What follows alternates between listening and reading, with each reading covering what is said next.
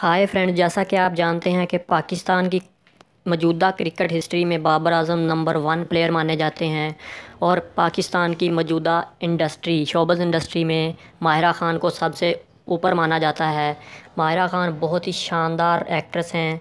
इसका अंदाज़ा आप इस बात से भी लगा सकते हैं कि शाहरुख़ ख़ान ने अपनी 200 करोड़ की लागत से बनने वाली रईस फ़िल्म में इन्हें कास्ट किया था और वो फ़िल्म बहुत ज़्यादा पॉपुलर हुई थी, बहुत ज़्यादा हिट हो गई थी। उसके बाद माहिरा ख़ान को बहुत ज़्यादा फ़िल्में की, फ़िल्मों की ऑफ़र हुई और ड्रामाज में भी इन्होंने काम किया और बहुत ही शानदार ये एक एक्ट्रेस हैं। आप सभी लोग इससे वाकिफ़ हैं।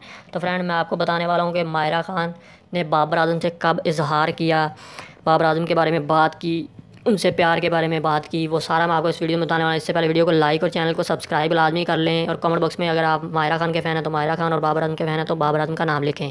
तो फ्रेंड चलते हैं वीडियो की तरफ़।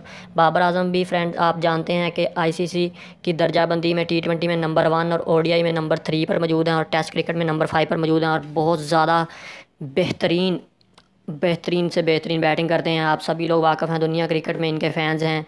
पूरी दुनिया में इनका बहुत ज़्यादा फ़ैन फॉलोइंग है। तो फ्रेंड चलते हैं कि मायरा ख़ान ने कब इजहार किया? समी इब्राहिम के शो में मायरा ख़ान से पूछा गया कि पाकिस्तान में आपका कौन सा, कौन क्रश है? मतलब कौन आपसे, कौन है जिससे आप प्यार करती हैं? तो फ्रेंड मायरा ख़ान ने साफ़ बताया कि वो एक क्रिकेटर हैं और बहुत ही बेहतरीन बैटिंग करते हैं, बहुत शानदार प्लेयर हैं और एक अच्छे इंसान भी हैं। तो उन्होंने नाम बताना मुनासब नहीं समझा, उन्होंने नाम नहीं बताया। दो तीन और सवाल पूछे गए, जो बाबर आज़म के रिलेटेड हुए तो बाबर आज़म का नाम भी लिया गया उसमें। तो फ्रेंड आप क्या चाहते हैं कि इन दोनों की शादी हो जाए? कमेंट बॉक्स में लाजमी बताएँ। Thanks for watching